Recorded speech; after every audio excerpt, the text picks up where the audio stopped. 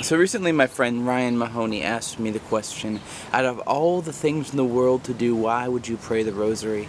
So I thought I would make a video in response to that question because it's a pretty good question.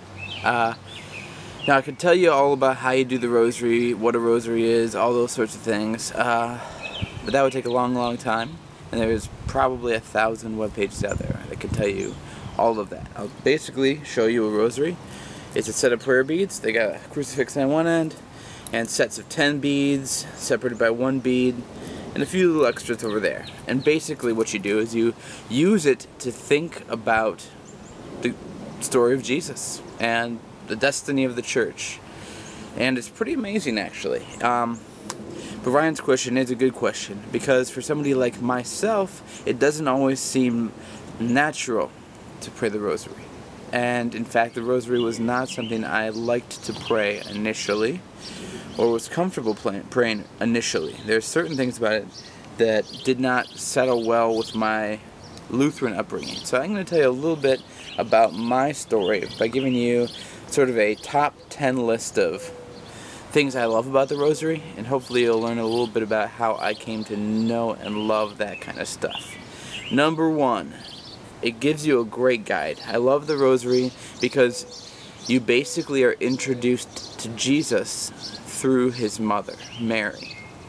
Now this is number one for me because it's also the major sticking point I had with it for many years. Growing up in the Lutheran church, talk about Mary was not common and it was certainly not comfortable.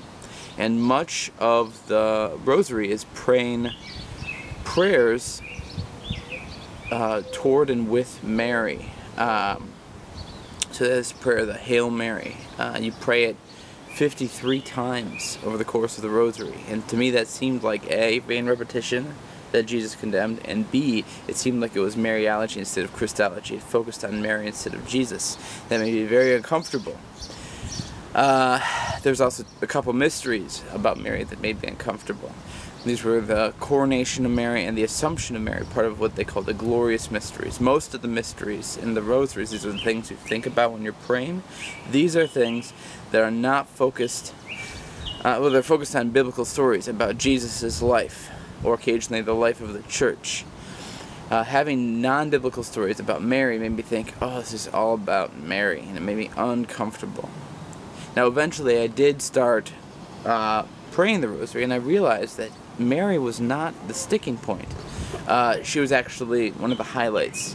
It, it was because it was so Mary focused that I was able to see Christ so clearly.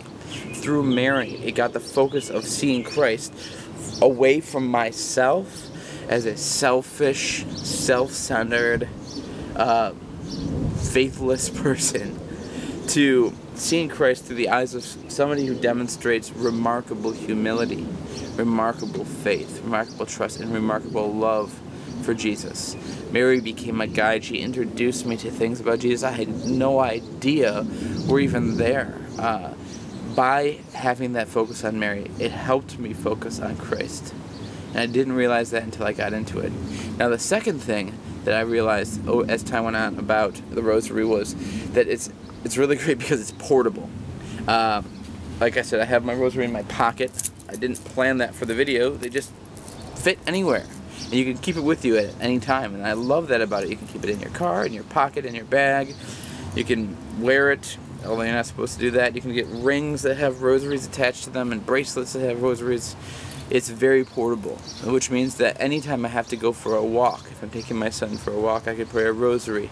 If I'm doing some uh, menial task, if I'm driving, I can pray a rosary. and It's never bulky. One of my favorite things to do is use prayer books, hymnals, breviaries, things like that. But these are not always with you. They're not as easily accessible. And uh, they're not nearly as easy to just throw in your bag or in your pocket. So I love how portable it is. Um, another thing about the rosary that I really fell in love with was how personal it became, but also communal. I could pray it by myself and it would be deeply meaningful. I could encounter Jesus in a way that touched me individually where I was at. But I also, when I pray the rosary, am joining in people in every continent who are praying the rosary, people throughout the world. Uh, and I can go to Mass, and before or after, there might be some people praying it. I can meet with any Catholic, they know the prayer. I can meet with my wife, she knows the prayer. I can talk, I mean, there's literally millions and millions of people who can join with you in this prayer, but it's still so personal. You encounter Jesus on such personal level. So I love that tension of the personal and the communal. That's the third thing I love about it. The fourth thing I love about it is that it tells the gospel over and over and over and over again. I am just amazed at the power of this thing to tell the gospel. Every day there's a different set of mysteries that you pray. You go through most of them a couple times a week. And it goes through the whole life of Jesus, from the Annunciation to Mary, all the way to our destiny as Christians uh, in the mysteries of the glorification and the uh, and the hold on. So as I was saying before, one of the main things that I love about the reason, the Rosary is how it connects you to the Gospel. It tells you the whole story of Jesus. It tells you the whole history of uh, how God has intervened in our lives to show us His love, to show us His mercy, to show us His grace. I know God's grace more now than I ever have, and I owe that in great deal to the Rosary because every week, a couple times a week, you go through the major events in the history of the life of Jesus and of the destiny of the church, and you you you spend time actually thinking about them. It gives you the space. What I used to think was vain repetition in the prayer turned out to be a, just a beautiful space for God to speak to me because I wasn't worrying about what to say next. I just had a cascade of, of prayers that would wash over me and God would open up my eyes in new ways. So just thought about Jesus Jesus' life. Wasn't anything new, but it struck me in a new way. And I love it because it it helped teach me the gospel over and over and over again. Uh, so that was the fourth thing. The fifth thing that I love about the rosary is it's it's always relevant to your life. No matter when I pray it, no matter what I'm going through, there's some relevance in what's going on in that story to what I find myself doing. The reason it's always relevant is it always points to Jesus and it helps center my life on what's most important to me, which is living a life that reflects God's love is demonstrated in Jesus. And having a knowledge of God's grace in my life, it's just been powerful. It's it's never fallen on a heart that was unprepared in some way to receive something there. It's always relevant to my life, to my struggles, to my issues, to whatever it is that that I'm dealing with. Uh, the sixth thing I love about it is it's simple. It's not easy, but it's simple. You can learn it in a matter of minutes. You can memorize it. It's not like you have to study Latin it's not that you have to memorize long prayers or entire psalms. Those things are good to do, and they're things that I try to do.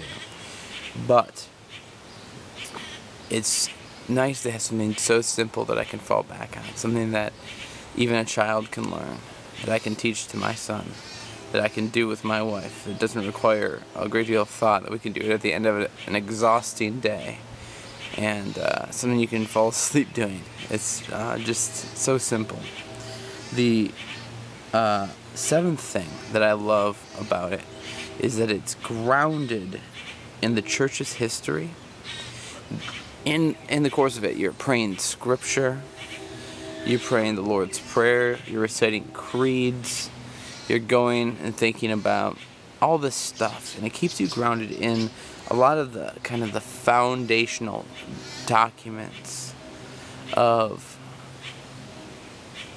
of what it means to be a Christian in this world and in this context, and what it means to be a Christian to people in all parts of the world and in all different contexts in all different times. It ties you to the the heritage of the church. It's something that has been done for hundreds of years, and even before it was done, the pieces that make it what it is we're already in place.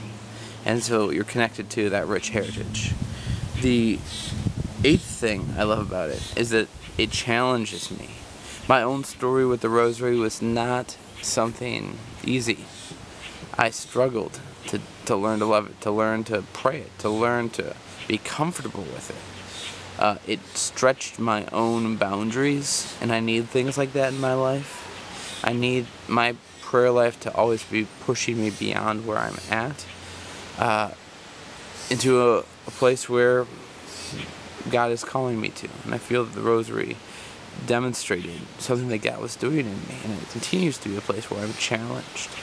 And I love that about it. So if you have problems with the Rosary, I think that's great. I just hope that you give it the time that its heritage deserves, I suppose. Give it a chance. You might find that the challenges that you have with it are are gonna bud forth into some of its greatest blessings. Uh, the ninth thing I love about it is it was a gift. It's a gift from a couple people who I love a lot. Uh, I learned the rosary primarily through my wife, who loves the rosary. It was if it wasn't for her praying it, insisting on praying it, uh, I don't know if I would have gotten into it. We'd started out as uh, a prayer that she would do, and I would sometimes pray along with the parts I felt comfortable with, or just do my own thing. And gradually, we started doing it together, and I found it just amazing when I actually started getting into it. And I wouldn't have probably even thought to try it if it wasn't for my wife, Joan. So thank you, Joan. Um, it's also a gift from the church, uh, which is uh, another beautiful lady in my life. Um, and I've dedicated my life to serving my wife and to serving, the church. So because those are two of the main vocational uh, foci in my life, um, it's just cherished by me. Um, and finally, the last thing that I absolutely love about the Rosary is that it is easy to share. I can make a video about it to you. Uh, you can learn it online in a matter of minutes. You can give it to people. Rosaries are not expensive. I got my first rosary for free at a stand at the Ann Arbor Art Fair. They were just handing them out. It was easy to share. Um, and so that's my gift to you. I hope that you take the time to learn how to pray it and to really live into it. I would say keep praying the rosary until you feel comfortable with it before you judge it. And once you're comfortable with it, if you still hate it, that's okay. It's not the best or only way to pray, but it does deserve a fair shot, a chance. Um, it's impacted too many amazing people to be overlooked, and I hope you don't overlook it. All right? That's why, out of all the things in the world to do, the rosary is a good thing to try.